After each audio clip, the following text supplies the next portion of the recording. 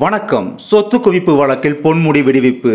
ஆம் சொத்து குவிப்பு வழக்கில் போதிய ஆதாரங்கள் இல்லாததால் அமைச்சர் பொன்முடி மற்றும் அவரது மனைவி விசாலாட்சி ஆகியோர் விடுவிக்கப்பட்டுள்ளன. அதை பற்றி நாம் விரிவாக காணலாம். சொத்து குவிப்பு வழக்கிலிருந்து அமைச்சர் பொன்முடி மற்றும் அவரது மனைவி விசாலாட்சி ஆகியோரை விடுதலை செய்து வேலூர் மாவட்ட முதன்மை அமர்வு நீதிமன்றம் உத்தரவிட்டுள்ளது. வருமானத்துக்கு அதிகமாக சொத்து சேர்த்ததாக கடந்த ரெண்டாயிரத்தி ஆறாம் ஆண்டு லஞ்ச ஒழிப்பு போலீசார் வழக்கு பதிவு செய்தனர்.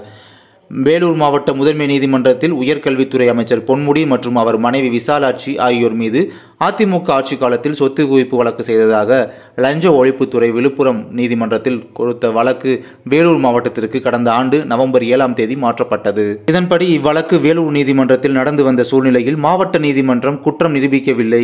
மற்றும் போதிய ஆதாரங்கள் இல்லை என்பதாலும் அமைச்சர் பொன்முடி அவரது மனைவி விசாலாட்சி இருவரையும் வழக்கிலிருந்து விடுதலை செய்வதாக வேலூர் மாவட்ட முதன்மை அமர்வு நீதிமன்ற நீதிபதி வசந்தலீலா உத்தரவிட்டார்.